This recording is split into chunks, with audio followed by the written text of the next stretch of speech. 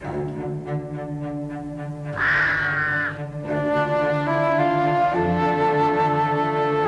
people told themselves their past with stories, explained their present with stories, foretold the future with stories, the best place by the fire was kept for the storyteller.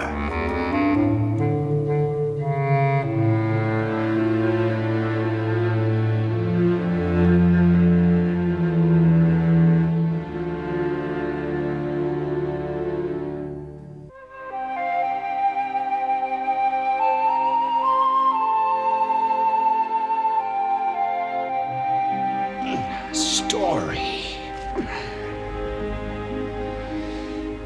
Imagine a cold night and a dark night. A night like this one. And imagine a bed with a farmer and his wife fast asleep, snuggling up for warmth. And in this bed, the farmer, shivering, reaches out for his wife. But instead of a head, he finds a foot because his missus is rubbing noses with their dog, who sleeps every night at the end of the bed. What kind of dog? I don't know. A dog, some kind of dog. Some kind of dog. Terrific story. Should I bark? Oh, no! Just for tonight. Don't be dense, woman. One night won't hurt. It might work. Sleeping upside down? What good's that gonna do? Midwife said it sometimes helps. You're not gonna get a child. If you want company, get a widow woman up from the village. I come up this end. I'm proper frozen. But the farmer's wife didn't want no widow for company. She wanted a baby. And she'd wanted this child for what seemed a lifetime until she couldn't bear to watch the lambs born, or the calves come, or the eggs hatch. It hurt her so. And she drove the farmer mad with her cranky books and her cranky charms and remedies. This stings. That's good. It's good. I'm making you a nice tonic and all, to be drunk night and morning. I want a child. Don't care if it were a strange thing made of marzipan or porridge, if it were ugly as a hedgehog. I want a baby to wrap in a bundle and sing to and snoodle with and hug to bits. Now, to say you wouldn't care when you want something is a dangerous thing.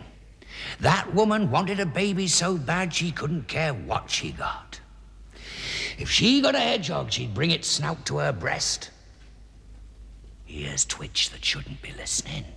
And no sooner said than done. She got her wish, the farmer's wife. She's all swollen stomach and thinks it's the baths he took or the sleeping upside down. But in fact, of course, it's the saying you wouldn't care what you got what gets you jiggered. 'Cause everyone knows what heard a proper story. She has her boy, and straight away there he is, little ball, as ugly as sin, with a pointed nose and sprouting hair everywhere. Hedgehogs do not have hair, they have quills.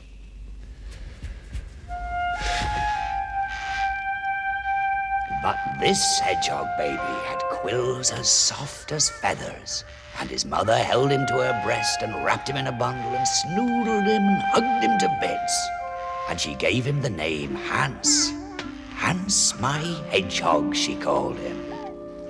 Oh, yes, the mother loved her baby all right, but not everybody did. What a hedgehog. We're a laughing stock. Get out of here, man! Yes. Bring the freezing air. I don't want you in here now. We're going home. What about our chores? That's the end of parading ourselves in public.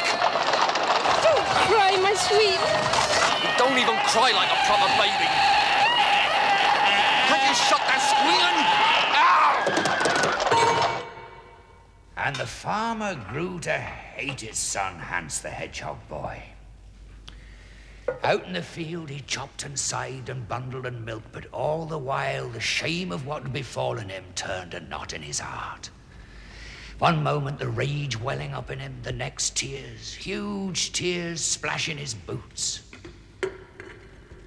And time passed by, day following day, week chasing week, and the hedgehog boy grew up. Hey, Beastie! You, Critter Chop! Oi, Triple Back! Hogheads! Gruffle Hog! And Hans my hedgehog learned he was strange, and he learned he was ugly, and he learned to be sad, and he learned the name that was given him.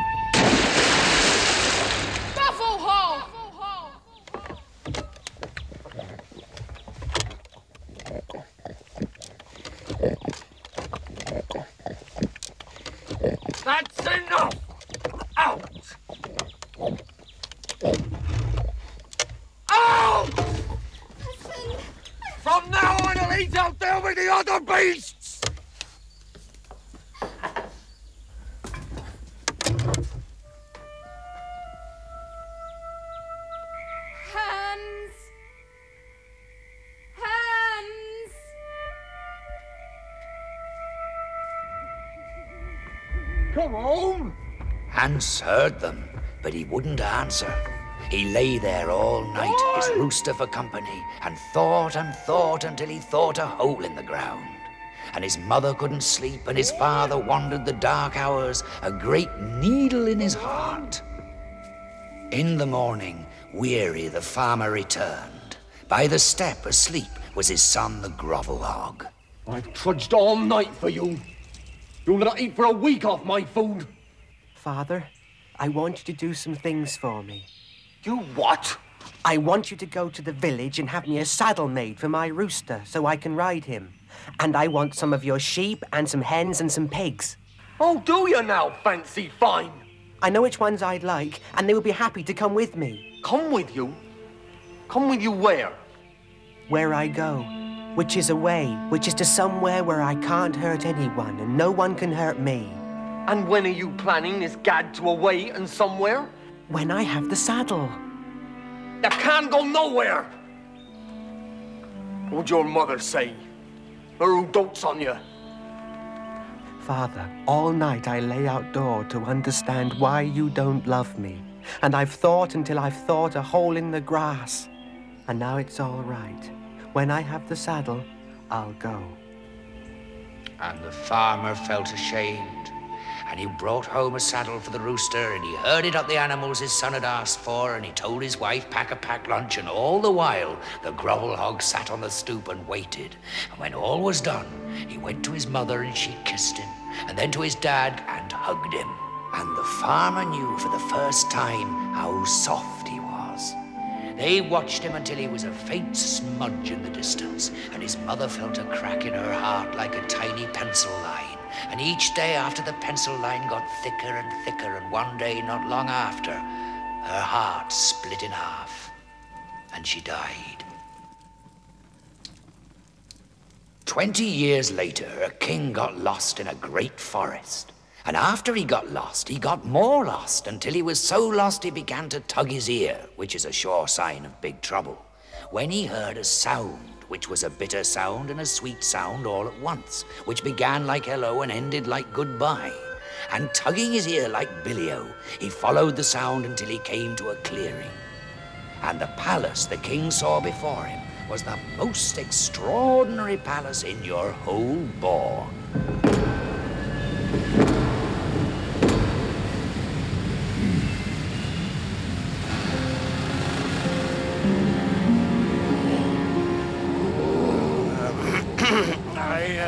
I'm very lost, and I'm very hungry. And uh, somewhere back there, a long time ago, I was a king. But now so lost and so hungry you wouldn't knock at a beast's house. Oh, well, uh, You are welcome in my house, sir, and at my table. And the king sat at the grovel hog's table and ate of the greenest greens and the sweetest sweets and the juiciest juices.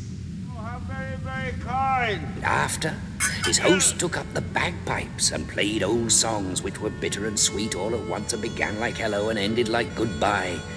And before he could think, I'm full now and found. The king was asleep.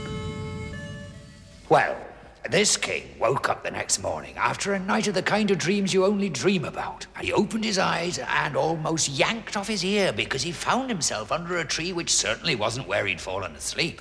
And more confusing, it was a tree from which he could see the edge of his kingdom. And he began to dance as only kings once lost and then found can dance. A jig, a jiggle joggle, and a leap. I've heard this story, and you're telling it all wrong. Hmm. What happens is, the king wants to give the Grovel Hog a reward for all his help, and so he says, Name anything. And the Hog thing says, Give me the first thing to greet you when you arrive in your kingdom. And the king agrees because he knows the first thing to greet him will be his faithful flop-eared Wagger, the royal dog. So the king says yes, and the whole thing says, I'll collect my reward in a year and a day. And off he goes on his ridiculous rooster. But things don't go as he planned, do they? And it's not poor Wagger who gets there first.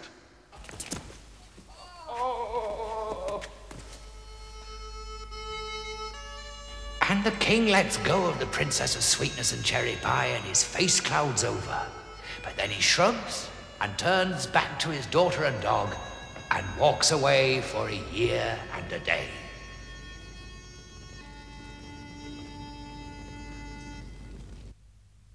Here we are, dearios, in the king's great hall. And lo and behold, a handsome storyteller has been summoned to court to entertain the royal family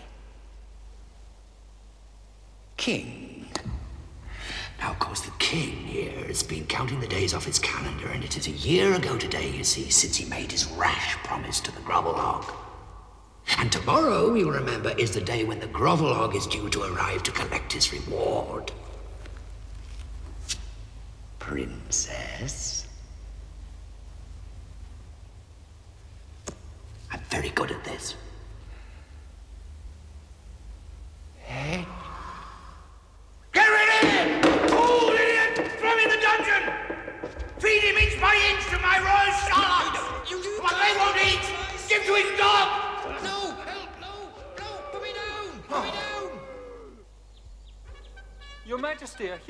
Army appears at the gate. Oh, does it? Not men, but animals, sire. Told you. Sire? I heard you! Let them in! Give a fella some space, I want to hear this. Do you remember me? I do. A year and a day have passed since last we met. Will you keep your promise to me? I will! He will?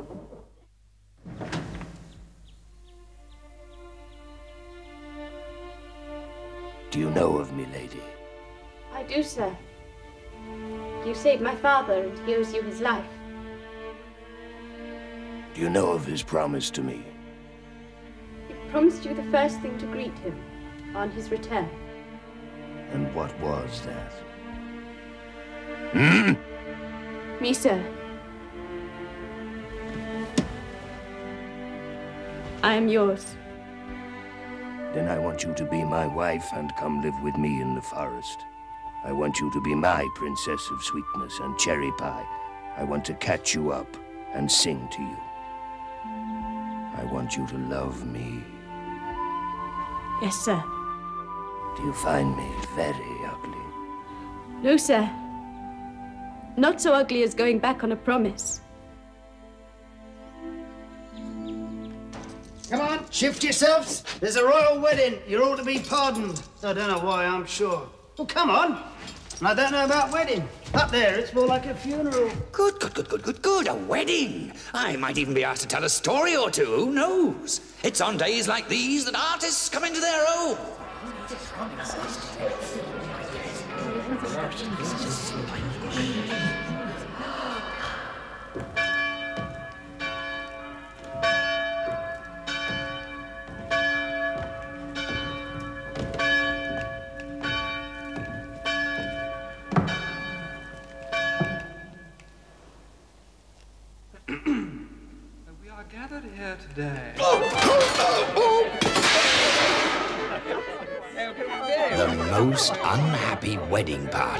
Party you ever saw. And that night, in her bedchamber, it was a terrified princess who lay waiting for her new husband to join her.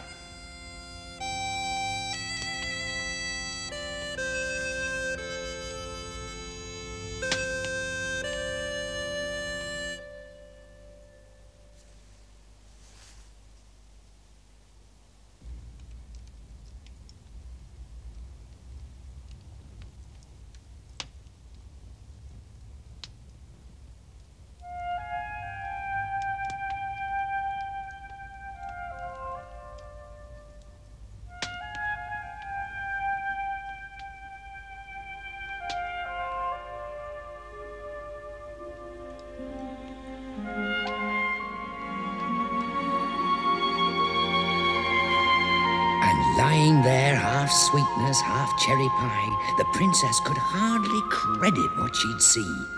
But creeping to the window, she looked down, and there, sure enough, a man moving among the animals in the quiet rain. And she found herself going to the abandoned coat of hair and quills and touching it, soft and warm and remarkable. And the first rays of morning woke her from dreams of waterfalls and ice cream. And there she was in her bed. And by the embers, the grovel hog back again, beast again. And so had she dreamed all this peeling off of skin? Surely she must have. But that night, the same scene her husband standing over her as she pretended to sleep. The tender touch on her arm, not prickly, but so smooth she felt an ache when he left her. And she found herself going to the skin and lying against it, and how comfortable she found it. And she felt drowsy, lying there by the fire, so peaceful. She felt herself drifting off, and knew she mustn't, but really couldn't help herself.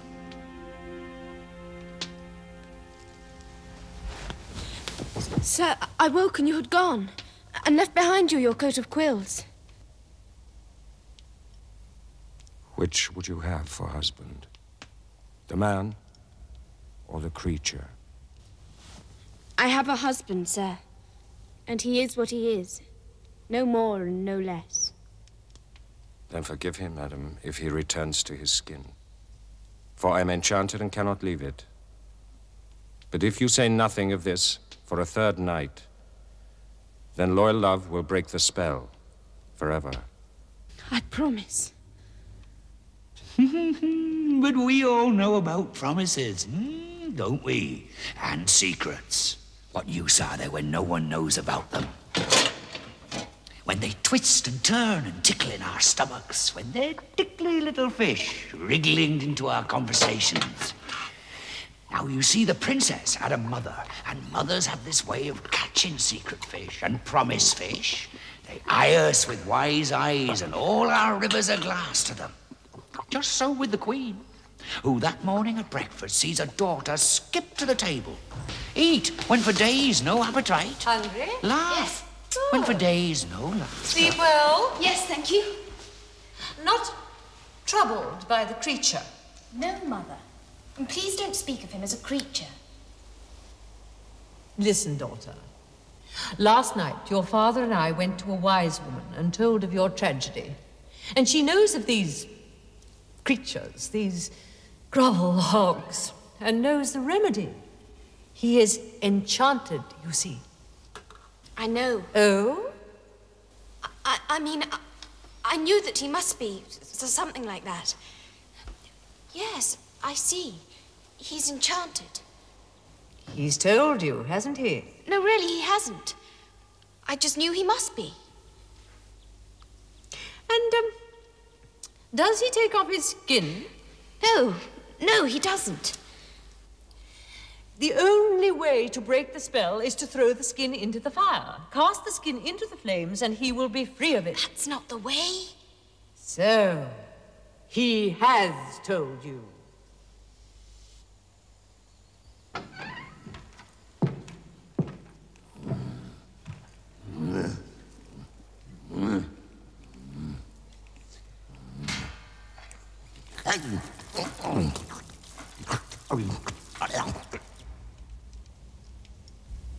That night, the third, when everything happens as before, the princess is haunted by her mother's advice.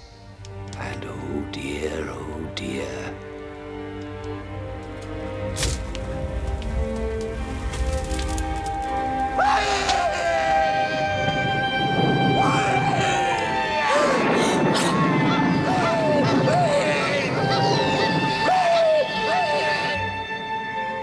Please! Please!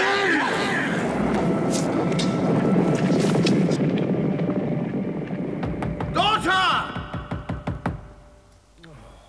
And there she sat, the princess of sweetness and cherry pie, weeping into the fire, and she would let no one see her, not even me, and I was her favorite. No, she thought and thought until she thought a hole in the hearth, until she knew what she must do. She went to the blacksmith and got from him a pair of iron shoes, and that night, when all slept, she slipped out of the palace and set off to wander the world in search of her husband. She walked and walked until she wore out the first pair of shoes, and still no one had set eyes on the grovel hog. And she got a second pair of shoes and began again, never stopping, always hoping. And the second pair of shoes wore out, and still she walked, always looking, always hoping to hear a music both bitter and sweet, beginning in hello and ending in goodbye, but nothing. Till one day, weary and wretched, she came to a stream and lay down by it, and saw in the water's mirror her hair was now quite white, and she sorrowed for her red hair and her husband, both lost forever.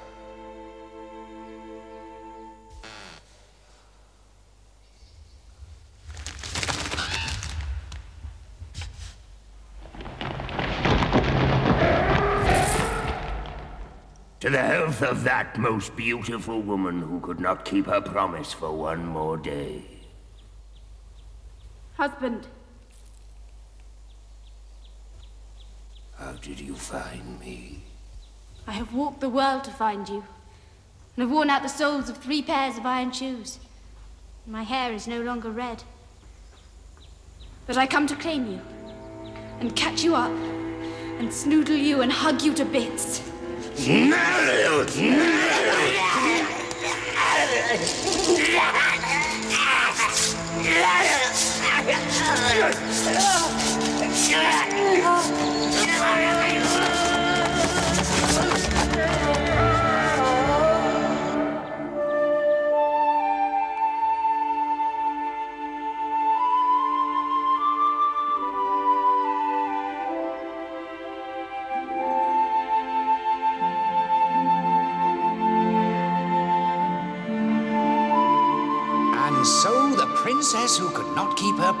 Won back her husband through looking without hope of finding and holding on for dear life. And in time her hair grew red again, and there was another wedding all over. And we were both invited. And I told the best story there is to tell a story which begins in hello and ends in goodbye. And for a gift, she gave me a shoe worn to nothing. And here it is.